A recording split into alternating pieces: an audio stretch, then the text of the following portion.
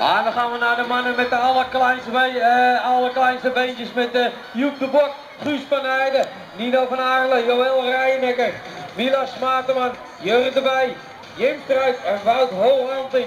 En wie wie is er goed uh, bij? We zien op in ieder geval op een tweede positie zien we daar even kijken. Dat is Jolie Rijnekker, maar die wordt daar voorbij gegaan. En dan gaan een paar mannen van de pedaal af. Dat zou ook zo bekennen. Ja, de bulten zijn best hoog. En als je dan nog eens een keer tegenwind hebt, dan moet je toch eventjes uh, het gas er goed aan opgeven. Wie zit er in ieder geval hier op kop? Het is de 78 en de Struus van de Heide. Met op een tweede positie Joep de Bok. En daar vlak weer achter is het uh, Joël.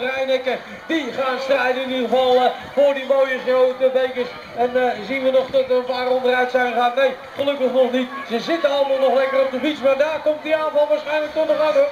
Gaan we toch nog zien? Is het Jutebok die toch nog gaat proberen daarom uh, Guus van Heijden daar uh, de loef af te steken? Het is Guus van Heijden inderdaad die op de kop gaat met op een tweede positie.